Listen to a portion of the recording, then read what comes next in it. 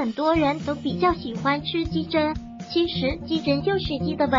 鸡胃又分为鸡胃和蟹胃，前者主要是用来储存和磨碎食物，后者则主要承担着分泌胃液的作用。本文我们就来聊聊让不少养鸡户都很头疼的鸡腺胃炎，也就是鸡胃上负责分泌胃液那部分的病症。为了让养鸡户更好的把握文中内容，我们将以问答的形式展现关于鸡腺胃炎的核心内容。鸡腺胃炎有什么流行特点？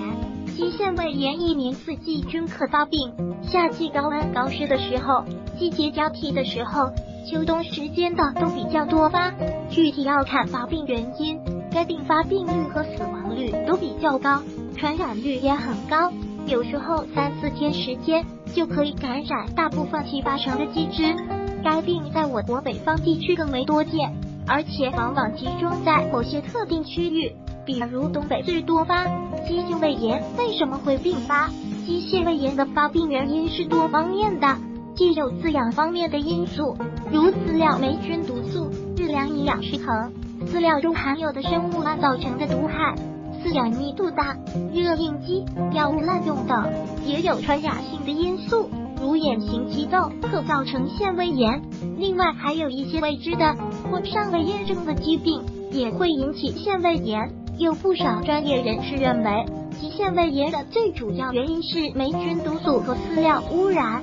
当然，目前还没有统一的结论，毕竟该病还没有找到确切的病源。如何预防急腺胃炎？说到某种疾病的预防，往往就会说出一些老生常谈的方法，比如维护鸡舍卫生，做好定期严格的消毒，注意饲养密度，夏季注意热应激等。另外，对于可能引起该病的其他疾病，养鸡户要做好预防，比如鸡痘。当然，最关键的点是注意饲料质量，避免霉菌毒素中毒，做好净槽和控料等。鸡得了腺胃炎有哪些症状？该病初期症状不明显，这也是养鸡户不容易忽视它的原因。带有体表外观症状时，多表现为采食量下降、饮水量下降、精神差、大群生长明显参差不齐、扎堆、羽毛乱、鸡冠萎缩发白、大群拉黄色细条状粪便、消瘦，部分可见拉红黑色粪便，甚至鸡粪中混有血液。解剖可见鸡腺胃明显肿大。